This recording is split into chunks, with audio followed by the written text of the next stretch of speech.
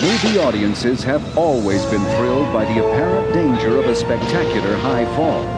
But falling effects have come a long way since Alfred Hitchcock sent a saboteur off the Statue of Liberty.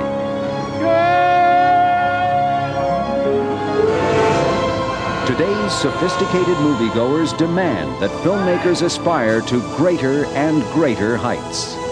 In The Hudsucker Proxy, the character played by Tim Robbins free falls 45 stories to the street below. And filmmakers Joel and Ethan Coen want the audience to see the expression on the actor's face on the way down. Coming up, we'll learn how the special effects wizards combine a miniature Manhattan with a plummeting Tim Robbins to create this hair-raising illusion. And we'll see how an actual free fall staged for the action thriller Time Cop results in one of the film's most shocking moments. Next on Movie Magic.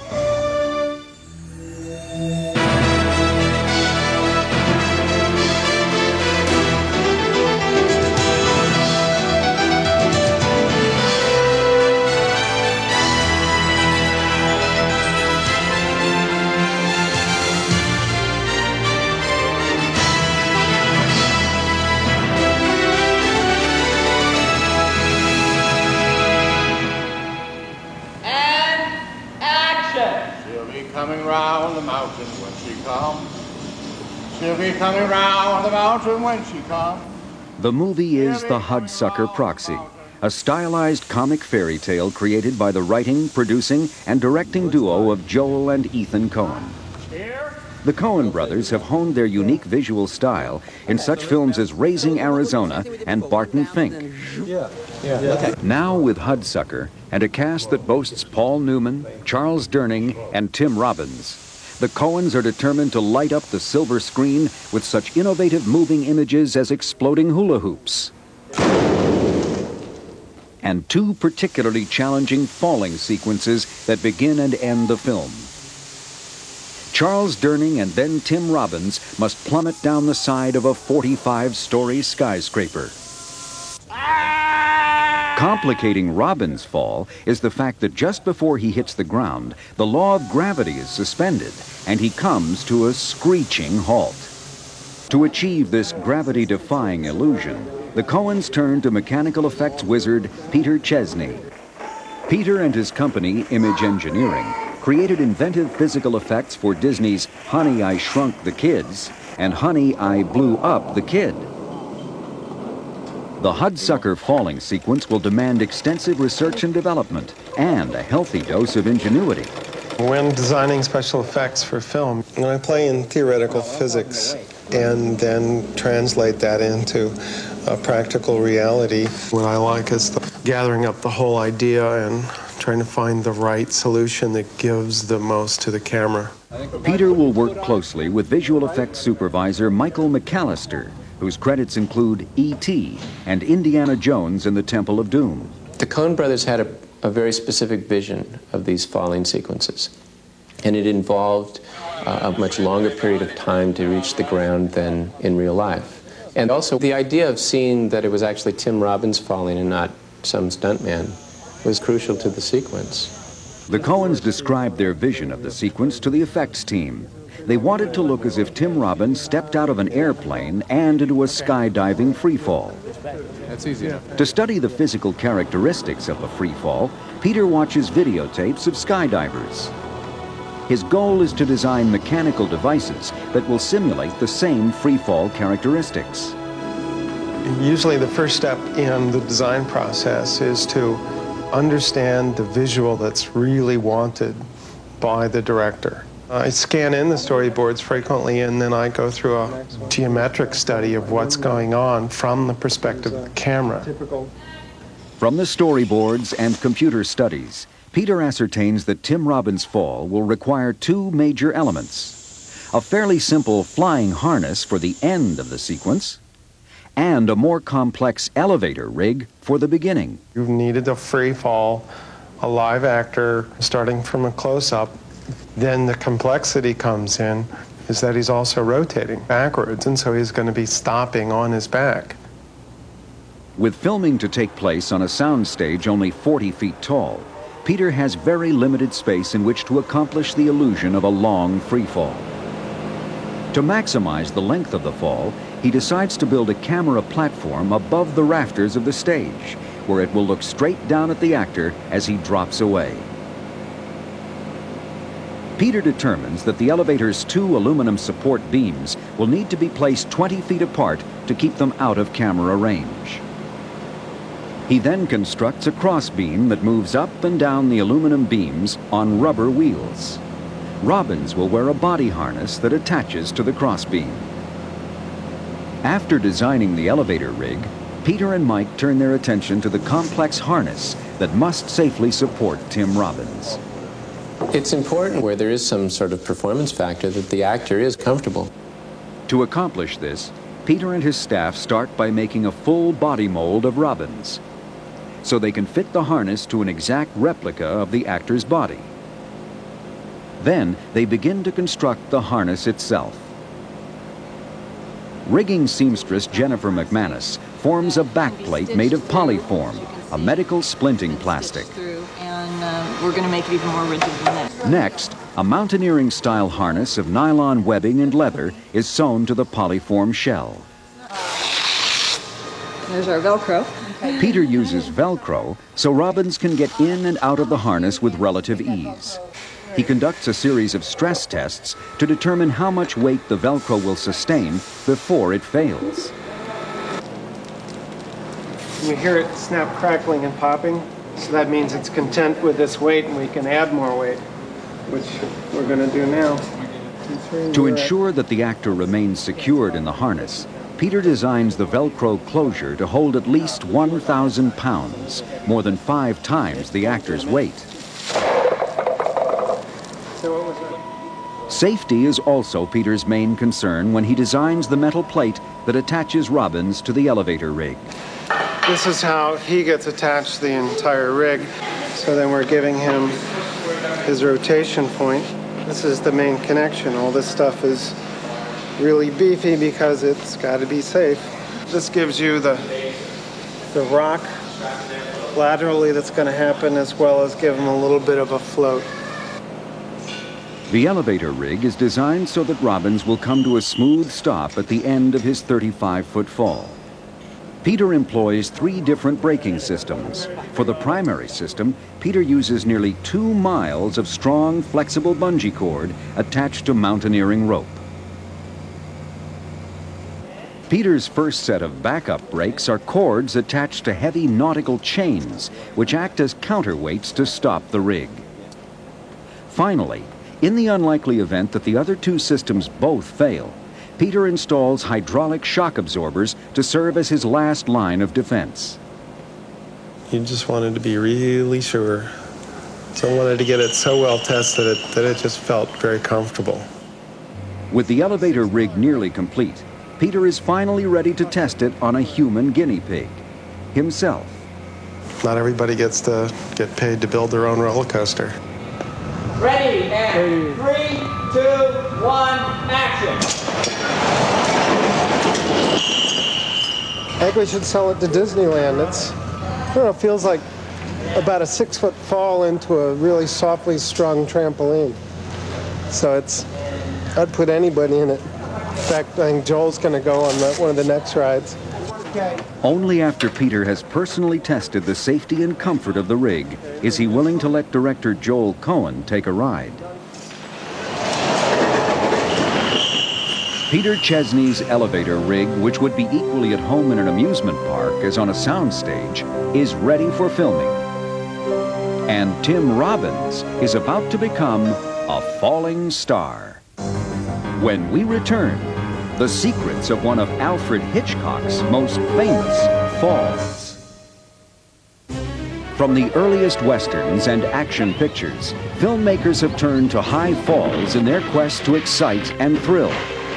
The legendary master of suspense, Alfred Hitchcock, was no exception. For the climax to his 1942 thriller, Saboteur, actor Norman Lloyd is chased to the top of the Statue of Liberty.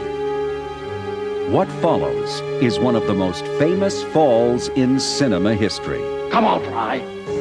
Hitchcock's problem was that this shot had to be made from a close up and never cut away. And that's why people, all these years, have said, How did you do that shot? Leaving the audience guessing was precisely the director's intention. To help him achieve this convincing illusion, Hitchcock brought in visual effects specialist John P. Fulton. In those days, they didn't talk about special effects, they talked about trick cameramen. And he was known as the best. To film the scene, a full-size replica of the statue's hand and torch was erected on stage 12 at Universal Studios. Today, the Cinemagic attraction at Universal Studios Hollywood features a reproduction of the Saboteur set and elevator rig used by Hitchcock. A portion of the statue's hand was attached to the bottom of a camera platform.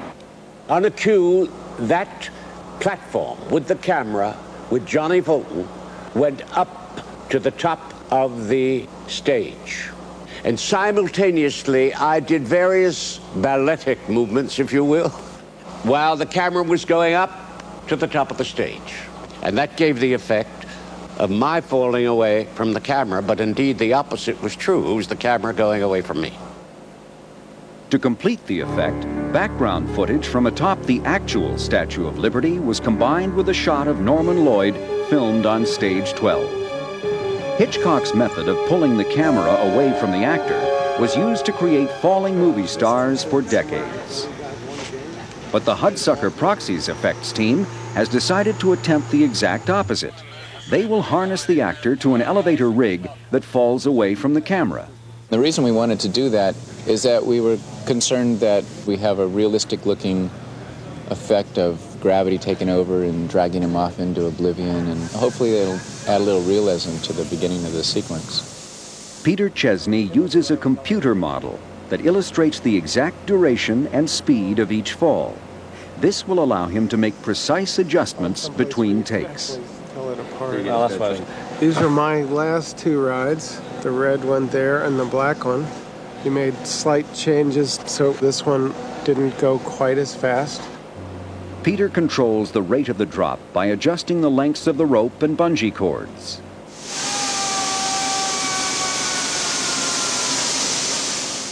Duplicating the wind resistance of a skydiver in free fall will be a vital element in making the Hudsucker shots believable.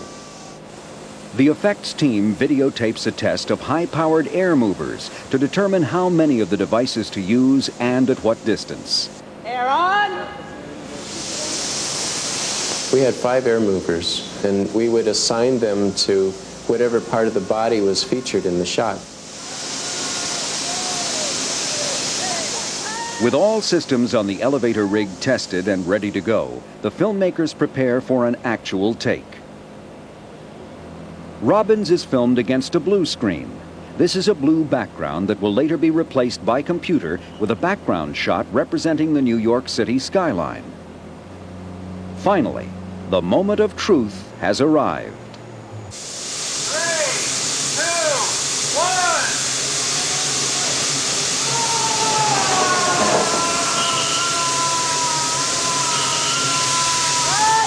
Peter Chesney's ingenious design has given the Coen brothers just the shot they were looking for. When we come back, the creation of a spectacular falling sequence for Time Cop begins by staging the real thing. In the futuristic thriller Time Cop, action star Jean-Claude Van Damme and director Peter Hyams are collaborating with the visual effects and stunt teams for a time travel high fall. Unlike Tim Robbins' fall in Hudsucker Proxy, Van Damme's face will not be visible on the way down. This allows visual effects supervisor Gregory McMurry of VIFX to stage a real free fall. Dangling from one wire each uh, through a pant leg, we swung these two stuntmen out uh, off of a 23-story building. Uh, we basically let them fall, free fall, until they got 15, 20 feet from the ground and then slowed them down very quickly. Once the 200-foot plunge is captured on film, the footage is turned over to the VIFX digital technicians. You notice the when these guys are falling because we have two separate wires on them, the wires are bouncing considerably. That could be a little bit of a problem. Harry, show him the matte. so he can pull the guys right out of the picture. To remove the wires from the picture, the falling stuntmen are electronically separated from the surroundings and inserted over a clean background shot of the building. A separate image of falling debris is scanned into the computer and added over the scene to heighten the effect. And then take uh, this one right here. Put that up next over there. With the finishing touch of a computer animated splash, the stuntmen vanish into the future in the middle of their fall.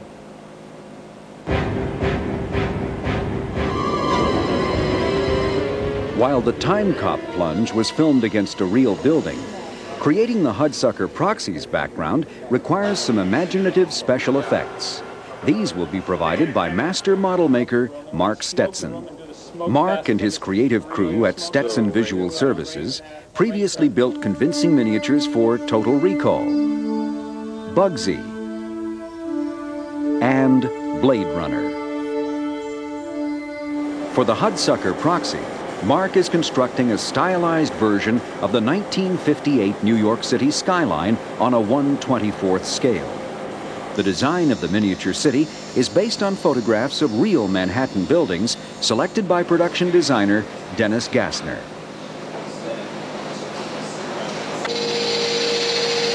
A team of 31 model makers cut, frame, and assembled 20 skyscrapers to be used for wide exterior shots throughout the movie.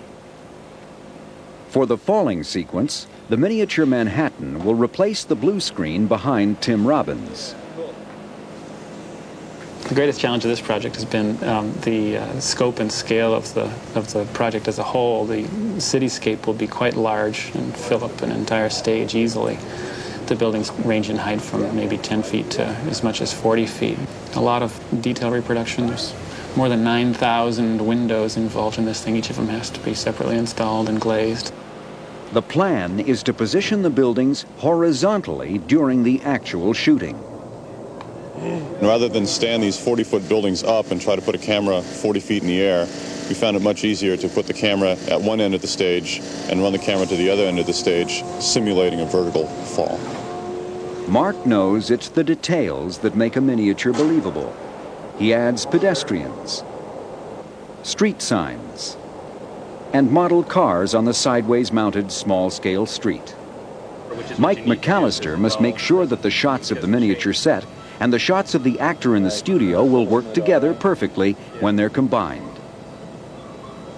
And these little dolls help us visualize it because we can, you know, sort of pretend like we're the camera and tilt our head around and various other things and visualize the shot before we try to program it. The effects crew also uses dolls to shoot a rough version of the falling sequence. The shots are edited together and shown to the director for approval. While filming of the miniatures continues, Peter Chesney's crew is perfecting the final part of the falling sequence.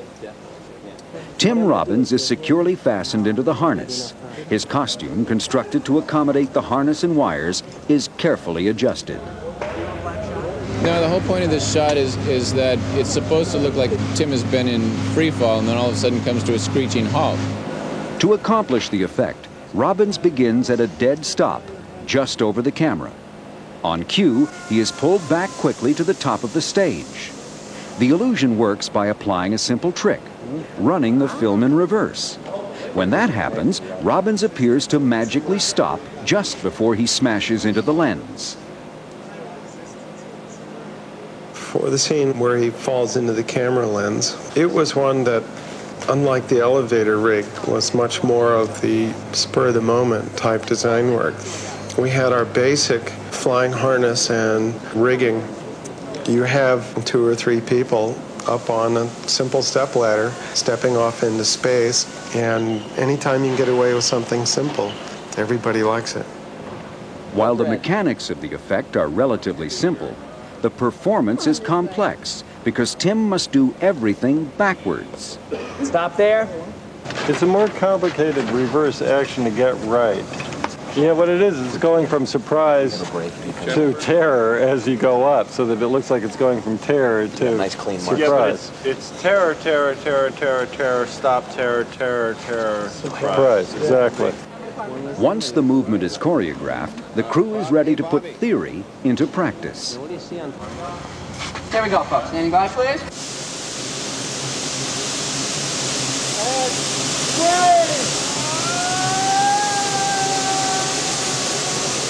Between takes, Joel works closely with Tim to perfect the performance.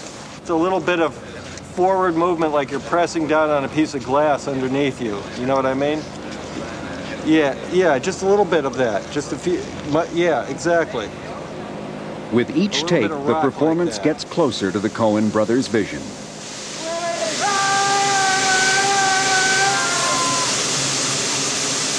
Oh, yeah, yeah, yeah. yeah. Hmm. After 15 takes while hanging on wires all day, Tim is happier than anyone when the Coen brothers are finally satisfied. For the effects wizards, the months of preparation and effort are rewarded when they see their work on the big screen.